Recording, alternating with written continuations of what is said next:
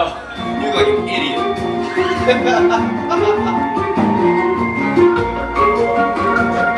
that's Oh, you almost got that one.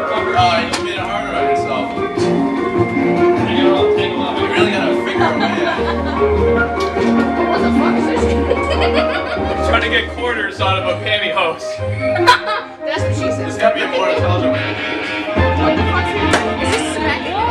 How's that? The quarter longest minute. Like, This is a long minute.